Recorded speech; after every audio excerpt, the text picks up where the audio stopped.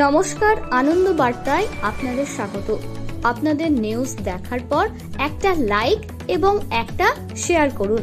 ভালো ভালো নিউজ দেখতে পেজটি লাইক করে দিন।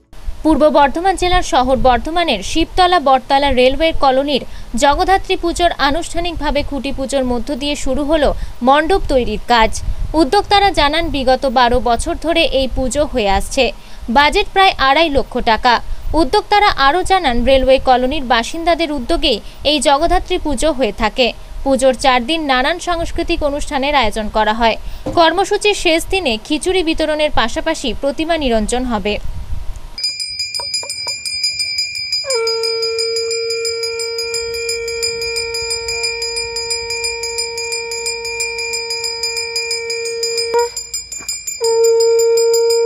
শ্রী পুজো খুঁটি পুজো হয়েছে এই পুজো আমরা দু বারো থেকে শুরু করেছি আজ পর্যন্ত আমরা পুরো বর্ধমান রেল কলোনি পুরো রেলবাসী রেল কলোনিবাসী মিলে আমরা এই পুজোটা করছি আচ্ছা কেমন কি এবারে খরচা আছে খরচা এবার বাজেট আমরা দু লাখ রেখেছি তারপরে একটু বাড়তেও পারে আর এইবারে প্যান্ডেল কি হচ্ছে প্যান্ডেলে আমরা একটা এখন প্যান্ডেল একটা আরে কি বলব প্যান্ডেলই করছি বড় করে। একটা প্যান্ডেলই করব।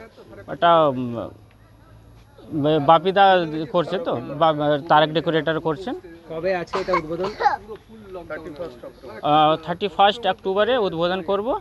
তারপরে আপনার ওদিন সপ্তমী আছে তারপরে পাঁচ দিন রেখে আমরা দশমী দিন ইয়ে করব। বর্ধমান থেকে পিন্টু প্যাটেলের রিপোর্ট আনন্দ বার্তা।